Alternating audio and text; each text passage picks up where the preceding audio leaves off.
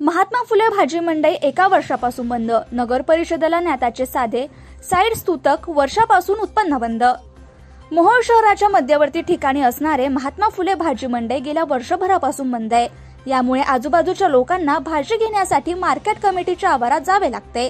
सदरची भाजी मंडईमध्ये नगरपालिकेने मोहोळ शहरात पाईपलाईन टाकण्यासाठी जे पाईप आणले आहेत ते या भाजी ते या भाजी मंडईमध्ये टाकण्यात आले असून त्यामुळे या ठिकाणी शेतकऱ्यांना भाजी विक्रेत्यांना बसण्यास जागाच उरली नाही.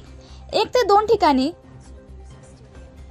बागवानांचे टपरे असून इतर ठिकाणी पूर्णपणे मंडईमध्ये अतिक्रमण झालं असून त्यामुळे शेतकऱ्यांना भाजी विक्रीसाठी जागाच नसल्यामुळे मार्केट कमिटीच्या जागेत भाजी मंडई भरवली जात असल्यामुळे नगर परिषदेला गेल्या वर्षापासून मिळणाऱ्या उत्पन्नावर पाणी पडले असून लवकरात लवकर या ठिकाणी असलेले पाईपलाईन करण्यासाठी आणून टाकलेले पाईप तातडीने काढून तातडीने काढून टाकून भाजी मंडईची दुरावस्था जी झाली आहे ती तातडीने दूर करून सुसज्ज आणि सर्व सोयींनी युक्त अशी मंडई करण्यात यावी अशी मागणी मोहोळच्या शेतकऱ्यातून आणि नागरिकांतून केली जातीये.